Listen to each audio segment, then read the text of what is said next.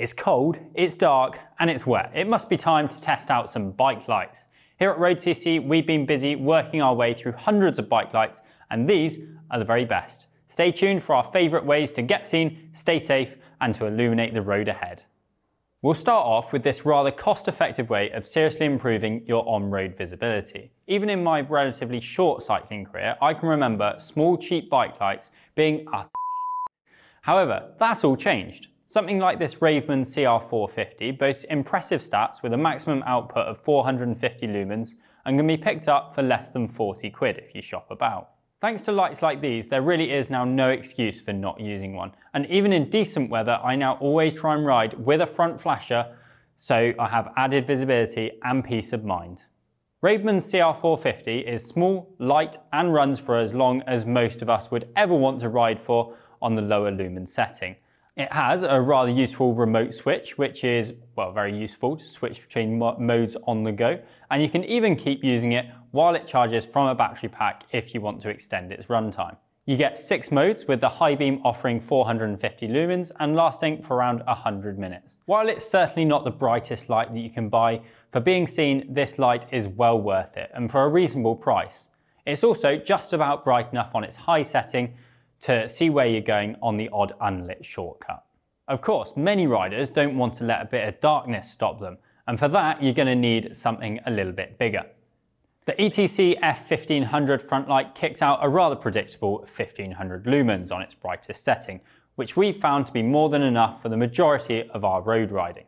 It also has plenty of features that you'd expect to only find on more expensive lights, such as an effective daytime running mode, which lasts around 30 hours, and smart mode functions which automatically adjust the brightness to your surroundings. My surroundings are a tunnel, quite a cold, wet tunnel. It's equipped with USB-C charging and is easy to operate. The mounting bracket is simple but effective and allows fitment both on aero and round profile handlebars. There's more to a light than lumens, and that's why we put loads of bike lights through our extensive beam test. More on that in a minute. When it comes to beam shape, no front bike light impressed us more than the outbound lighting Detour. The Detour uses a pair of LEDs with custom reflectors to cast a wide beam with a distinct cutoff at the top, so it doesn't shine straight into the eyes of oncoming riders or drivers. Whether you care about the oncoming traffic or not, the light actually goes where you want it, so it's a win-win really. The Detour has clever features like the mounting system, which nicks an idea from the world of photography, apparently. It's basically a scaled down Manfrotto RC2 quick release. That's something that's used to fit and remove cameras from tripods. It also features an adaptive mode and has the ability to run off an external battery for longer life, which adds to its appeal. Outbound lighting have got the basics right too, with quick charging from USB-C and the six modes were enough to cover pretty much any situation you might find yourself in. Before we take a look at the final three front lights that have made the cut, including the light which has won our best overall front bike light for 2024, here's a sneak peek behind the scenes of our annual lights test. If you haven't already subscribed to the channel, then why not click the button now? So, every year we go to our top secret testing location, a dark lane just off the A367 in Coombe with a barrage of lights, a willing volunteer, some cones and a big camera. The idea is that with all the lights in one place, we can begin to draw comparisons between them and build a better picture about the capabilities of the lights more than their lumen outputs alone let on. The second part of the beam test is a little bit more mysterious and involves Dave disappearing into his shed for a few days and emerging with lots of useful graphs, allowing us to categorically say how wide a beam is and where the light is actually going. If you're interested in finding out a bit more about the beam test or want to compare loads of lights, then head over to the RoadCC website. We'll pop a link in the description below. Taking our overall title this year is the Giant Recon HL 1800.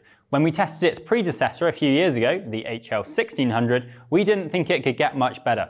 But it has. It's now even more user friendly and has improved features such as 200 lumen power bump, a more compact size, and some Garmin head unit integration. It's also decent value at under £100 if you shop around. There are five modes, which are simple to navigate, and on the brightest setting, our reviewer could get almost two hours out of it. You will, of course, get much more on lower beam settings. But most importantly, the burn times are accurate, and you're not going to get caught out. Our reviewer concluded that if you're after a single unit slash compact front light that can handle the darkest of conditions and impress in practically every measure that matters, it's hard to see past the Giant Recon HL1800. Bam, enough said. As we said earlier, cycling tech has come on quite some way in the last few years, and one of those areas is cameras. There are some bike lights that combine illumination with footage capturing abilities, and our current favourite is the Fly 12 Sport from Aussie brand Cycliq. This latest version has an OLED display, 4K playback, and up to 7 hours of battery life. It's also quite a lot lighter than the previous version, shedding about 25% of its weight to come in at just 148 grams. A 64GB micro SD card is supplied, which should capture many hours of footage before you need to buy another. And we found the footage from Cycliq cameras to be good enough for projects with higher production values, as well as just recording the commute or reporting a near miss. The beam itself has a max brightness of 400 lumens with solid pulse and flash modes, and is ideal for road cycling and commuting in all environments, and even a brief foray onto an unlit path. Like number six, money no object. I like this one. And we'll conclude with our best money no object front bike light, the Exposure Strada Mark 11 SB with Aktiv with a K. It's definitely a lot of cash, but if you've got some dollar burning a hole in your pocket, then this is everything and more that even a pro cyclist would want in terms of light output, build quality, and tech. Offering 1600 lumens, you'll always have enough light on offer, and there's seven modes to choose from, which are easy to navigate through. The battery life is impressive for an all-in-one unit too, testing around 2 hours at full power to 36 hours on its lowest setting. There's also some seriously class-leading tech. Aktiv technology, for example, enables the Strada to respond to oncoming light sources and lower its output accordingly. We've continually been impressed with how well this works. An active mode smoothly dims the output as cars get closer to you and then returns up to full brightness quickly after they passed. There is a few other lights that are worthy of a mention and scored a 9 out of 10 in our reviews. The Giant Recon HL350 has an RRP of $34.99 and is a great be seen light. The ProViz LED 360 Rigel will set you back $54.99 and is a cheap way of seeing what's ahead. The Magicshine Ray 2600 Smart Remote Bike Light packs a punch with 2600 lumens for £113 and the Exposure Joystick Mark 16 and latest Sirius also score very highly and are ideal for fitting to either your helmet or bar. In fact, this is a, a Sirius. It's very good.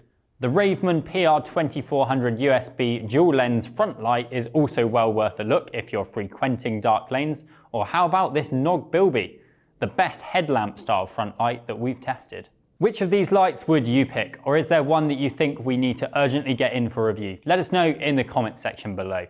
If you found this video useful or interesting, then please give us a like and subscribe to the channel so you don't miss out on more reviews, advice, and well, us prattling around on bikes.